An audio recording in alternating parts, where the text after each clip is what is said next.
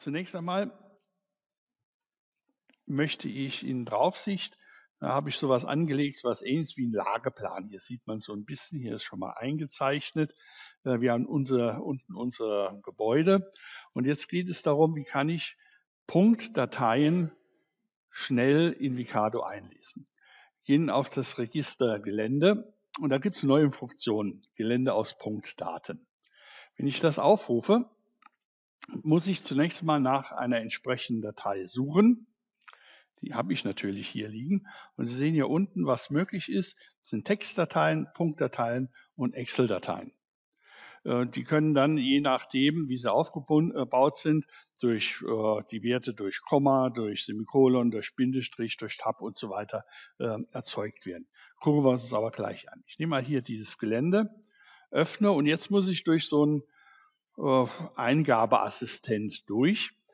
Das ist zunächst einmal so, wie sich die Datei darstellt. Das ist jetzt die Datei, die wir eingelesen haben. Ähm, eine Spalte, und wenn man genau guckt, sieht man, dass sie durch ein Semikolon die Werte getrennt sind. Wenn ich das jetzt hier aufrufe, das Semikolon, und dann habe ich hier drei Spalten mit X, Y und Z-Koordinate. Wenn Sie das Ganze vom Verwässer bekommen, sind da meistens noch ein paar mehr Spalten vorhanden. Das fängt dann mit der Nummerierung an und endet vielleicht nachher mit der Beschreibung, das ist jetzt ein Schacht, das ist ein Grenzstein, das ist eine Laterne oder das ist eine Bordsteinkante. Ähm, Sie suchen sich hier den X, Y und Z-Wert aus und können dann in den nächsten Bereich gehen, auf die nächste Seite. Dort bekommen Sie zunächst einmal die Dimensionen angezeigt, damit Sie auch wissen, dass Sie dass man es von der Dimension her stimmt. Also hier haben wir minus 1 Meter, Meter 50 als höchsten Punkt, 2,50 Meter, das passt. Dann Referenzniveau. Wenn Sie vom Vermesser jetzt nicht das Niveau Null des Hauses bekommen, sondern eine Höhe über normal Null, 326 Meter oder sonst was, dann tragen Sie diesen Wert hier ein und dann wird das Gelände auch Ihrem Gebäude angepasst. Das heißt, es liegt dann auf der gleichen Ebene. Und das Gebäude selbst hat dann auch die Information, ich liege bei 325 Meter. In dem Moment hier wäre es jetzt bei Null. Dann kommt dieser, diese Frage nach Norden ausrichten. Ähm, wir können ja über den Nordpfeil ähm, das ähm, ja eingeben, wo Norden ist. Sie werden ja nicht ein Gebäude äh, nach Norden konstruieren, sondern Sie werden das parallel zu einer Grundstücksgrenze äh, ähm, konstruieren und können dann aber den Nordpfeil eingeben. Wenn der exakt eingestellt ist, brauche ich das Gelände nicht zu drehen. Wenn der nicht äh, exakt eingestellt ist, muss ich es drehen. Ich drehe es jetzt einfach mal nachher. Und hier bei sehr großen Dateien, wenn Sie die ähm, von jetzt nicht direkt vom Vermesser bekommen, sondern äh, von den Katasterämtern, dann sind sie relativ groß.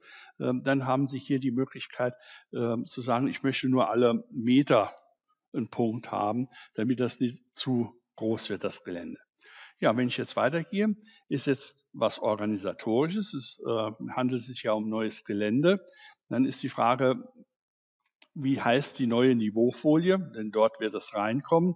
Da können Sie auch Urgelände reinschreiben und dann das Gelände kopieren und modellieren. Dann haben Sie zwei Gelände drin. Das ist natürlich alles möglich. Uns geht es aber jetzt zunächst mal darum, das Gelände einzulesen. Neue Folie Gelände soll okay sein. Ich möchte aber keine neue Sicht, weil ich das hier in den Lageplan geschrieben haben bekommen möchte. Geschrieben bekommen. Oh Gott. Äh, so, was Sie jetzt hier sehen, ist einfach nichts passiert. Das hängt aber damit zusammen, dass wir hier das Gelände neu haben. Und wenn ich das jetzt hier anklicke, dann sehen Sie, das liegt jetzt hier irgendwo. Entweder sagen Sie jetzt, dass das Gelände aktiv ist, dann können Sie es direkt anklicken. Ansonsten müssen Sie nur in aktiver Folie selektierbar nehmen. Und Sie schieben jetzt nicht das Haus und das Gelände, sondern das Gelände und das Haus. Das das ganz einfach mit den normalen Verschiebebefehlen. Schieben wir es mal in die Nähe, dann können wir es jetzt besser angucken. Und der Punkt und der Punkt sind ja gemeinsam. Verschiebe diesen Punkt auf diesen Punkt. Und jetzt kann ich sagen, diese Kante ist parallel zu dieser Kante. Das wäre dann der Rotationsbefehl, dass ich sagen kann, das geht nach da. Und dann haben wir das Gelände eingelesen. Wir gucken es uns an. Und Sie sehen, das ist also jetzt das Gelände. Da steigt es an, auf der anderen Seite ähm, fällt es hier etwas steiler ab. Und wir können natürlich das Gelände uns ein bisschen näher betrachten. Ich lege jetzt einfach mal einen Schnitt durch.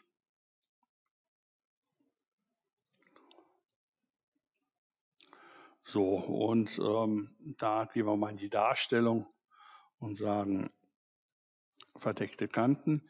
Also an diesem Schnitt sieht das Gelände so aus. Wenn wir das rausklappen, das ist ja auch eine neue Funktion, dass Sie alle Sichten, Draufsichten, Ansichten dann dementsprechend ins 3D klappen können dann sehen Sie hier auch die einzelnen Vermessungspunkte, die wir hier eingetragen haben. Und das ist jetzt eine richtige Triangulierung, die wir da haben. Früher haben wir das ein bisschen anders gemacht, noch bis vor zwei Jahren. Ähm, dort haben wir versucht, ein Gelände zu modellieren, das möglichst ausgerundet ist, das keine Gerade hat, damit es einfach für die Visualisierung her schöner aussieht. Das wäre, kann man sich auch hier nochmal angucken, das wäre diese Elementierung die Sie von vor zwei Jahren kennen, äh, wobei diese Punkte halt, ähm, na, ich sag mal, geschätzt wurden. Das ist, äh, relativ rund ausgerundet, so dass man da ein homogenes Gelände hat. Das, was Sie nachrechnen können, das geht natürlich nur dann, wenn Sie hier eine normale Triangulation haben.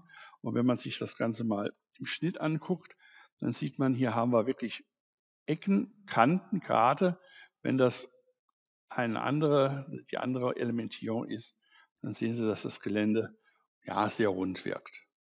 Also, wenn Sie nachrechnen wollen, wenn Sie den Verlauf genau brauchen, dann müssen Sie mit dieser oberen Einstellung arbeiten. Wenn wir uns das Gelände selbst anschauen, dann sehen Sie hier die einzelnen Höhenpunkte.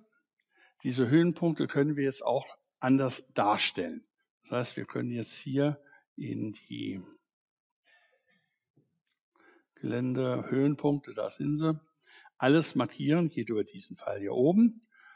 Rechte Maustaste Eigenschaften. Und jetzt werden Sie hier natürlich nichts finden, was die Darstellung betrifft, weil die Darstellung nicht objektspezifisch, sondern äh, sichtspezifisch ist. Und wenn Sie das hier eingeschaltet haben, dann können Sie auch sagen, ich möchte gerne abweichende Darstellung, also aus einer Darstellungs Variante. Und da haben wir diese Darstellung und gucken wir mal nach.